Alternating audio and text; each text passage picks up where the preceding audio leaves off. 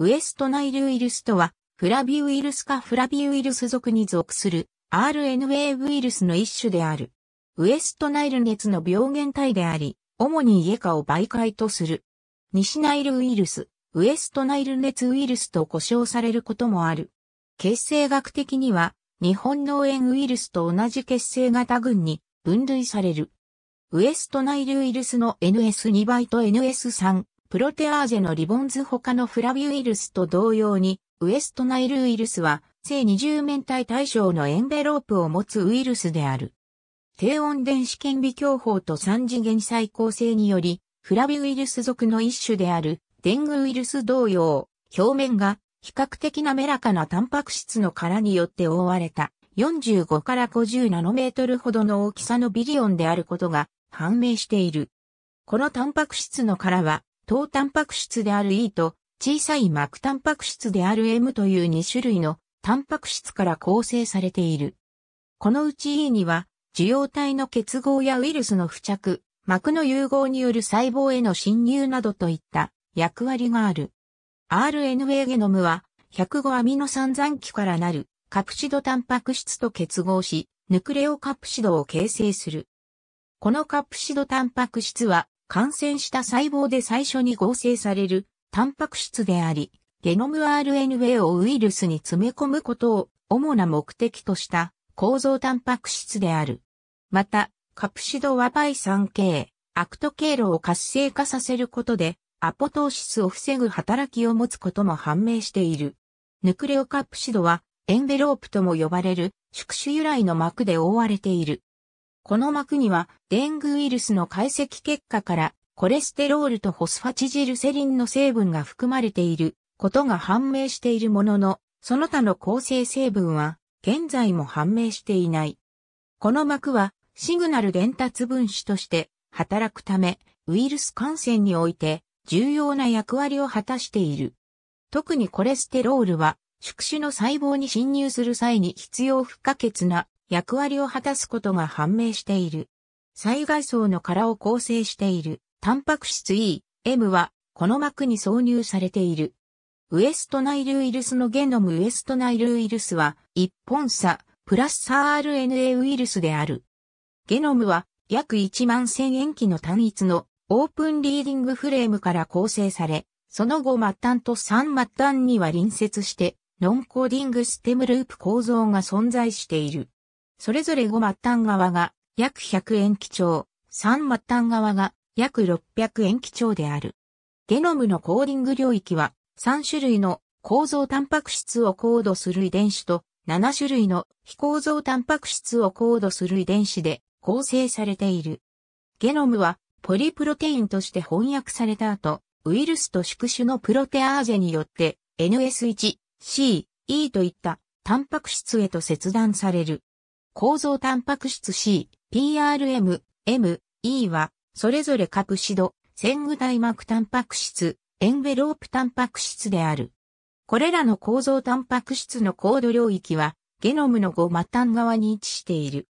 非構造タンパク質は NS1、NS2A、NS2 バイト、NS3、NS4A、NS4 バイト、NS5 からなり、主にウイルスの複製を補助したり、プロテアーゼとして働いたりしているものの、これらのタンパク質の機能は断片的にしか解明されておらず、不明な部分も多い。これらの非構造タンパク質のコード領域は、ゲノムの3末端側に位置している。ウエストナイルウイルスが宿主となる動物の血流に侵入すると、エンベロープタンパク質 E が標的細胞の表面にあるグリコサミノグリカンと呼ばれる接着因子に結合する。これらの因子はウイルスが細胞に侵入する際に重要となるが、そのために一時受容体との結合が必要となる。一時受容体には DC サインや DC サイン、R、インテグリンアルファ V ベータ3といったものが含まれ、これらの受容体と結合することで、ウイルスはクラスリン解在性エンドサイトーシスによって細胞に侵入する。エンドソームの酸性環境は、エンドソームの膜とウイルスの膜の融合を触媒し、ゲノムを細胞質に放出できるようになる。一本差プラス RNA は、小胞体上でポリプロテインとして翻訳された後、宿主のプロテアーゼとウイルス由来の NS2 倍と NS3 プロテアーゼによって切断され、成熟したタンパク質が作られる。自身のゲノムを複製するため、RNA ポリメラーゼであるタンパク質 NS5 は他の非構造タンパク質と複製複合体を形成し、一本差マイナス RNA の中間体を生成する。生成されたマイナス差は、プラス差の合成の鋳型として機能する。合成されたプラス差は、カプチドタンパク質 C によってピリオン内に詰め込まれる。ウイルスの残りの部分は、小胞体とゴルジカラダを介して組み立てられ、非感染性の未成熟なビリオンとなる。その後、タンパク質 E がグリコシル化され、タンパク質 PRM がフリンによって切断され、M となることで感染性を持った成熟したビリオンが形成される。こうして形成された成熟したウイルスは細胞表面から細胞外へと分泌される。全ゲノムシーケンス中のエンベロープ遺伝子の配列決定に基づくウエストナイルウイルスの系統樹、ウエストナイルウイルスはセントルイス脳炎ウイルスやマレーバレー脳炎ウイルスといったフラビウイルスと同様に日本脳炎結成型群に分類される。系統樹解析の結果、ウエストナイルウイルスは約1000年前に新たなウイルスとして発現したことが判明している。最初のウイルスは異なる2つの系統へと進化していった。系統1のウイルスは西アフリカや中東、東、ヨーロッパ、アメリカ、オーストラリアなど世界中に分布している。系統1は 1A から 1C まで細分化されており、1A には北、アフリカや中部アフリカ、ヨーロッパ、中東、南北アメリカで分離された株が、1ビットには主に、オーストラリアに分布している訓人ウイルスが、1C にはインドで分離された株が含まれている。1A の中でも、アメリカやイスラエルで分離した株は、他の 1A の株と比べて、鳥類の致死率が高いことが知られている。このため、カナダのケベック州にて実用化されたウイルスの流行を監視するシステムでは、カラス科の鳥の死亡数も判断材料として用いられた。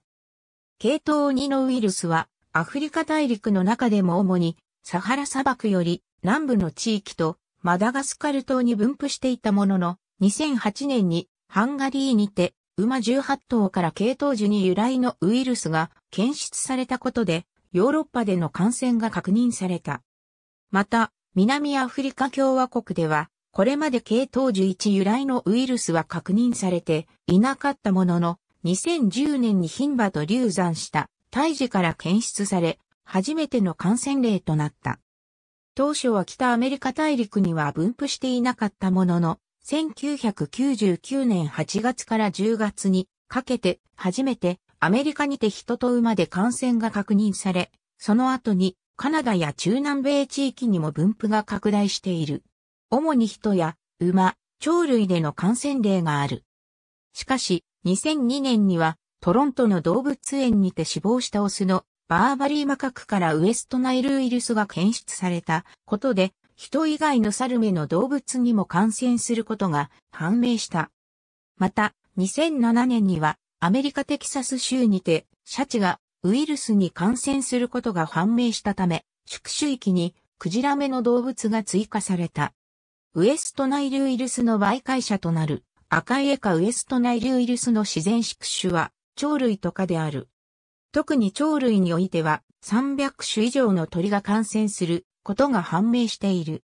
このうちアメリカガラスや青カケス、キジョライチョウを含む複数の鳥類は感染によって死亡するものの、その他の鳥は感染しても死亡しないことが判明している。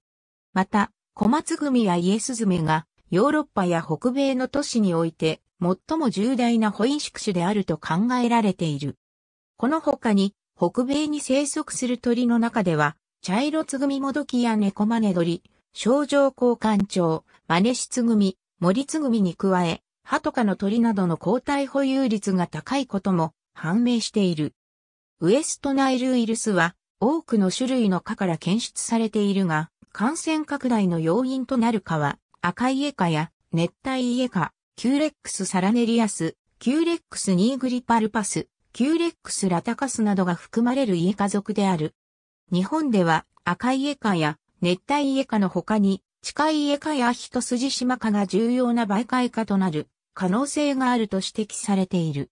また、感染実験はナンダニを媒介者として用いることで実証されているものの自然感染ではベクターとして役割を果たす可能性は低いと見られている。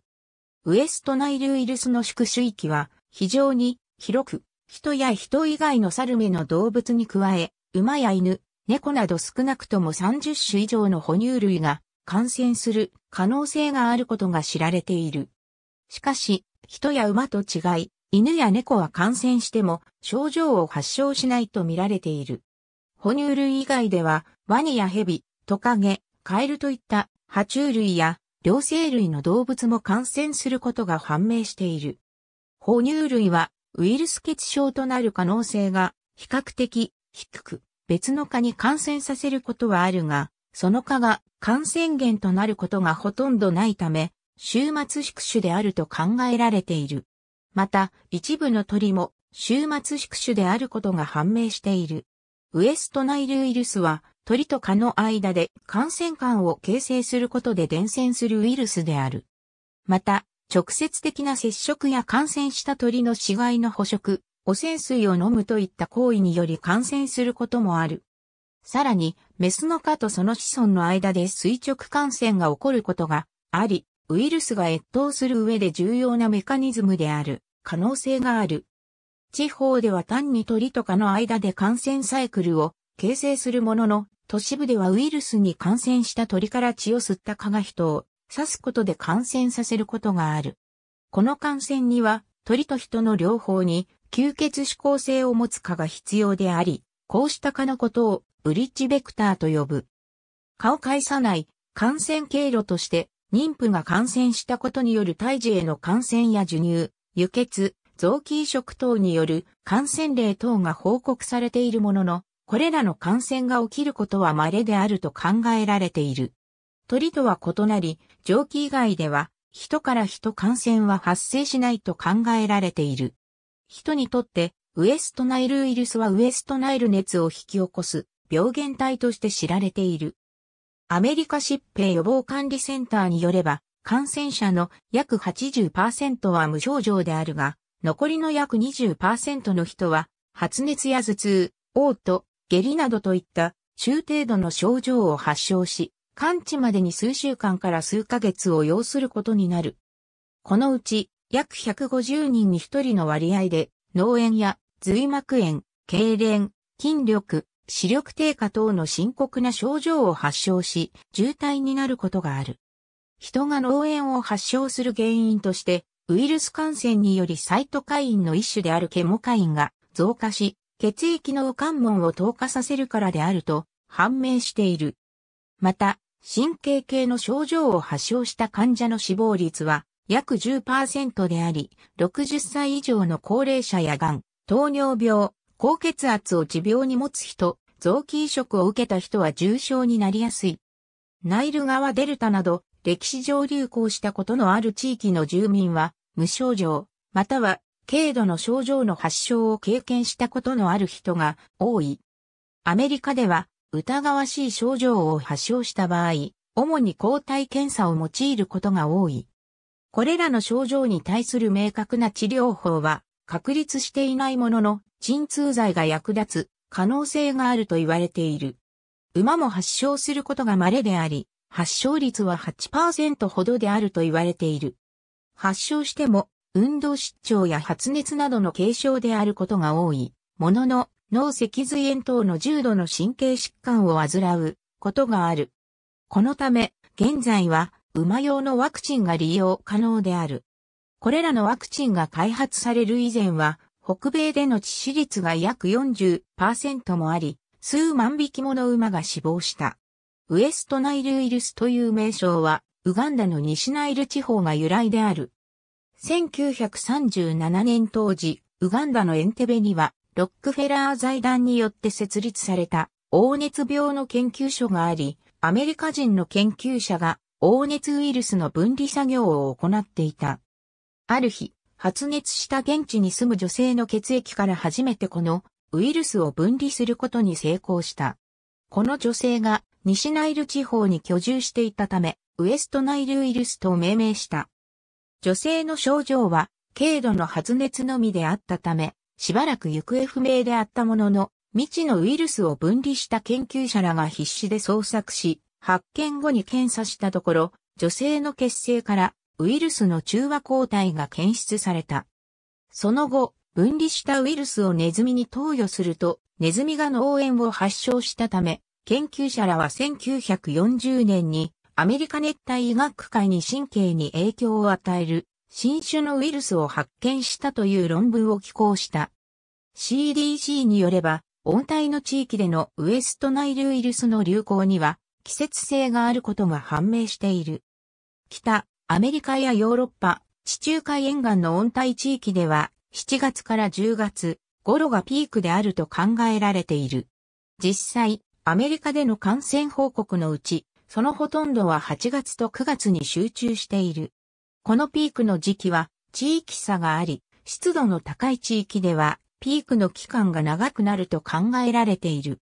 すべての年齢層の人が同様に感染する可能性があるものの、高齢者は神経浸潤性疾患の罹患率や死亡率が他の年齢層に比べて高いことが判明している。2019年時点で4種類の獣医用ワクチンが市販されているものの、人用ワクチンとして第3位小試験へと進んだワクチンは存在していない。人用ワクチンとして複数の候補薬が開発されているものの、使用が許可されたワクチンは未だない。このため、ウエストナイルウイルスの感染予防対策は、人が感染したかと接触することを避けることに焦点を置いている。その方法として、自己防衛と蚊の駆除の二つが挙げられている。自己防衛の手段としては、蚊が活発に活動する夜間の外出を控える、屋外では長袖、長ズボン、靴下を着用する、ディートを含む、防虫剤やペルメトリンを使用するといったものがある。また、網戸や蚊帳を利用して、蚊が室内に入らないようにすることでも予防しやすくなると考えられている。蚊の駆除作業はアメリカでは主に自治体ごとに行われ、蚊の監視や生息地での駆除、溜まった水の排水などが実施されている。この他に、鳥類を監視するシステムの利用も感染予防に効果的であると考えられている。アメリカでは、鳥の死骸は、ウエストナイルウイルスや鳥インフルエンザといった感染症の早期発見に役立つ可能性があることから CDC は鳥の死骸を発見した場合に、州の保健局などへ連絡を入れるよう要請している。ウエストナイルウイルスの分布図。CDC 作成。気候変動は人の健康に様々な影響を与える。この影響は複雑であり、その規模や時期は環境条件や人の脆弱性によって変化する。こういった影響の一つにウエストナイル熱などの媒介性疾患の発生がある。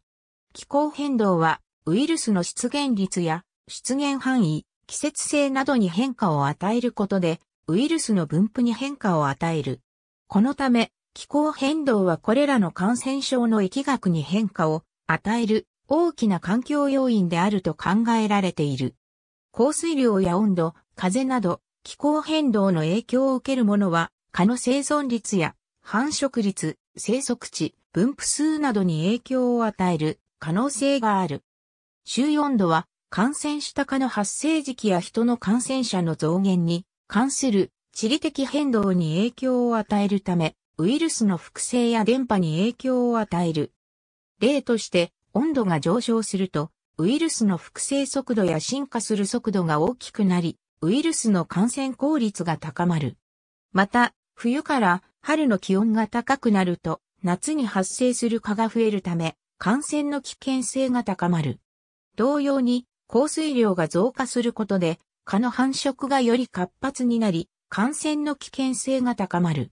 この他に、風によってウイルスを持つ蚊が移動するため、ウイルス拡散の要因になり得る。ウエストナイルウイルスは、アフリカや中東、ヨーロッパ、アメリカ、オーストラリアなど様々な地域に分布していることが判明しているが、日本国内での感染例は存在しない。